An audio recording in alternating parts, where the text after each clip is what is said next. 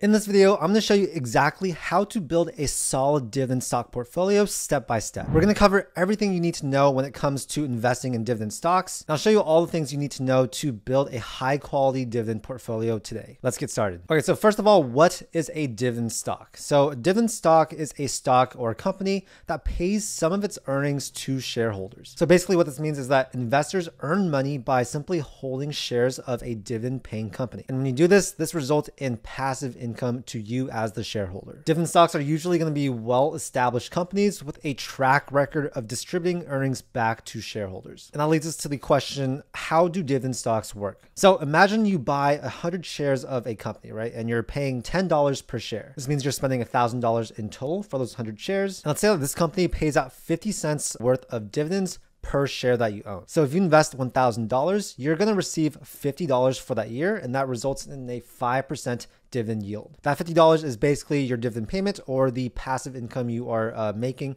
from holding that stock. Now, why would someone want to build a dividend portfolio? One of the biggest things is, of course, you get regular income. So instead of relying on the appreciation of price for a stock, there's that safety net in that you are actually receiving payments for just owning that stock. You also have more safety and stability, and dividend portfolios are historically proven to be more stable than the market itself. Equity portfolios have their own risks. So, you know, in uncertain markets, if there's volatility, then yeah, that's when having a dividend portfolio can make a lot of sense. It also allows you to balance resistance to inflation as well as market fluctuations. So by investing in these dividend paying solid blue chip companies that provide reliable income, that's just another sense of diversification. Now let's talk about some of the pros of dividend investing, right? The first one being passive income. You are able to make money without doing any work. This is arguably the most passive form of income because you don't need to spend any time, you know, keeping your business up to date or anything like that. All you have to do is buy the stock, hold it, and you'll get paid out. This is literally 100% your money working for you. Another pro is that it often beats the market, right? So the return on dividend stocks is actually greater than the average return from the market if you do factor in those dividend payments. It also allows you to reduce risk and volatility. So dividend stocks, they grow a little bit slower, but they're also less volatile and you won't lose money as quickly during bear markets. There's also tax advantages, right? So these dividend payments, they are taxed at lower rates than your ordinary income. And that's because the payments that you're getting, they're like likely going to be qualified dividends, which include those dividends paid out by US companies. And those are going to be taxed at long term capital gains rates. On the other hand, you have non qualified or ordinary dividends, such as those paid by real estate investment trusts. And those are actually taxed at regular income. So, yeah, there is a big benefit to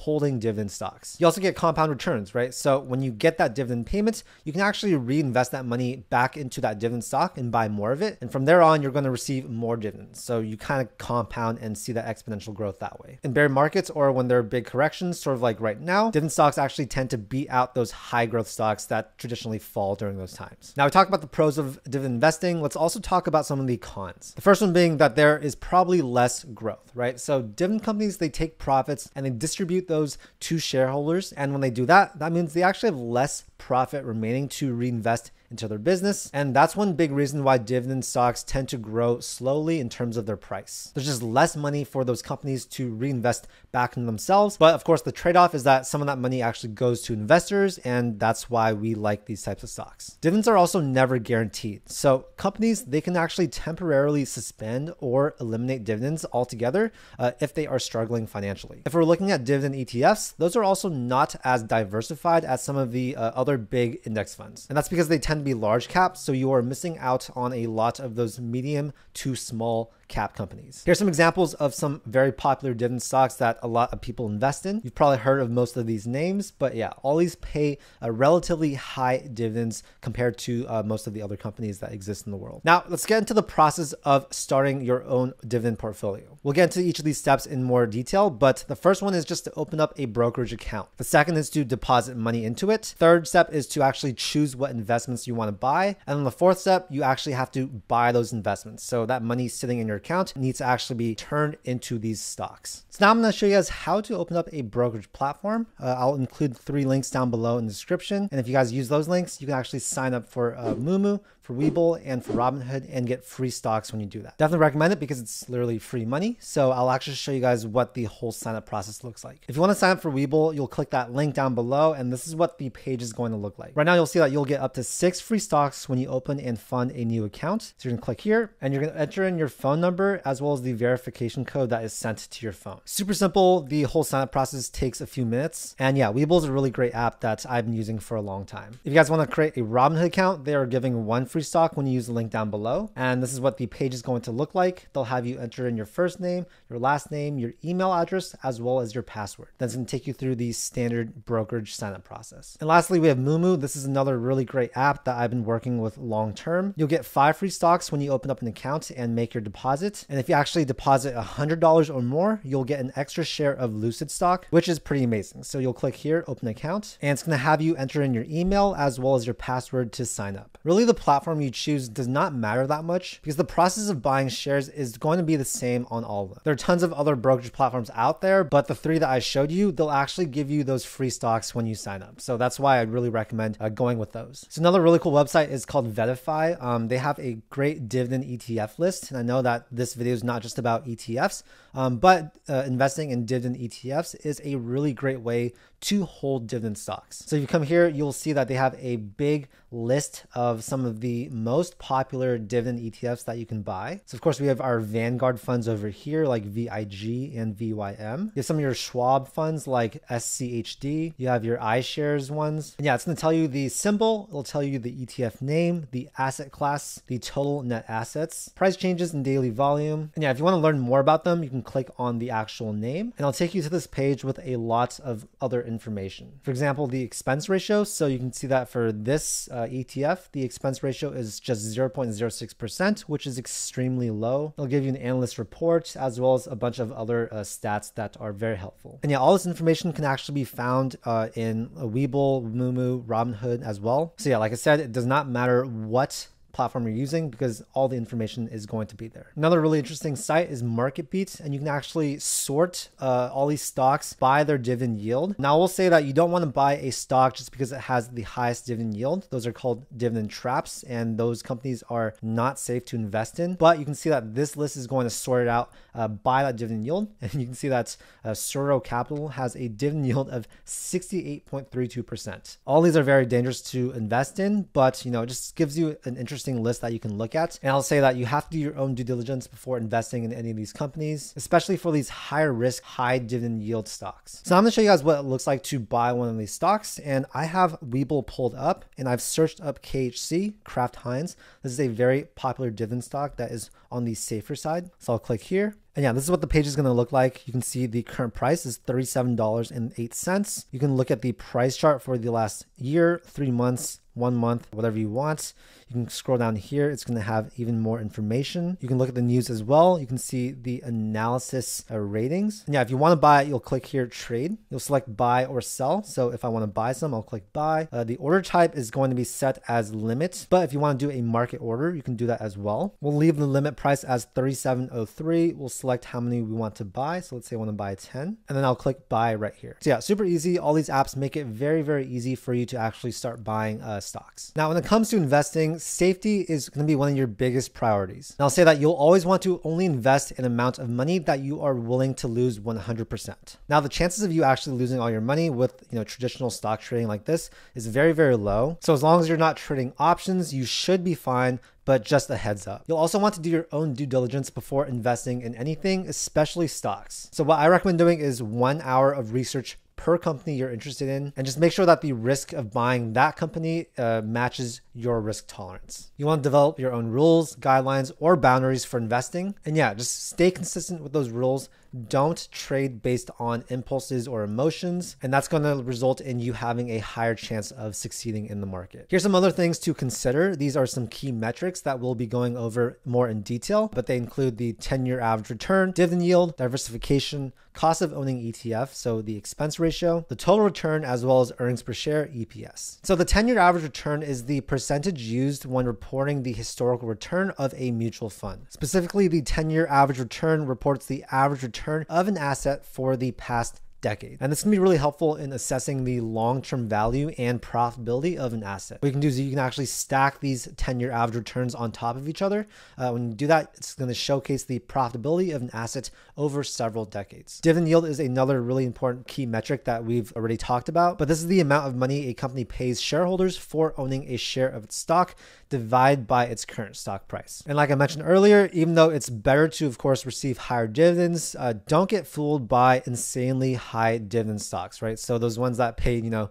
20 to 60% dividend yield, those are going to be called dividend traps. Those are probably not going to be the best companies to invest in, as they just mean that the company is giving away way too much money to shareholders and not reinvesting that money into its own growth. More important is the company's ability to maintain and slash or increase their dividend payouts. Another really important term is diversification, right? So you definitely want to practice distributing your investments to many assets uh, so that your exposure to any one type of asset or even one sector is limited. The main objective with this is that you want to reduce your portfolio volatility over time. And this can actually be measured by examining the correlation coefficient of a portfolio. You can see that this is an example of a pretty well diversified portfolio. You have six different types of investments and they are spread out pretty evenly. Cost of owning an ETF, right? So this is how much does it cost to actually, you know, invest in this fund. So the expense ratio. While this is not like the biggest factor to consider, this only applies for dividend ETFs or other types of ETFs. It's not going to apply for your individual dividend stocks, but I'm a really big ETF person. I think that that's probably the best way for most people to invest in all types of stocks. And of course, you're going to care about the expense ratio because that's how much you're paying basically in management fees. In my opinion, anything under 0.1% is relatively good, and anything uh, above that is going to be a little bit more on the expensive side. So yeah, just be aware because a lot of your growth in your portfolio